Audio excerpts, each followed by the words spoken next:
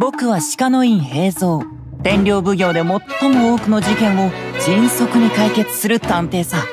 浮気調査にペット探し。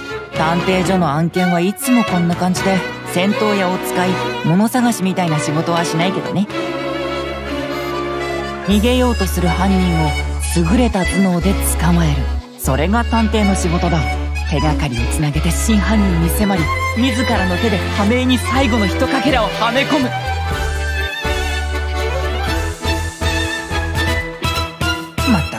最後の最後で武力を使って抵抗する人がいるんだよね。でもそれが通用するなんて思ったら大間違い。だ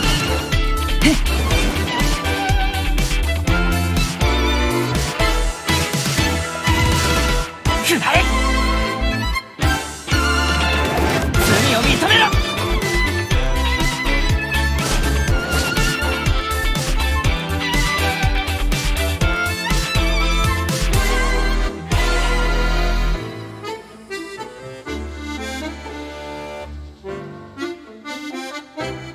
さっきの雨で手がかりが洗い流されないといいんだけど。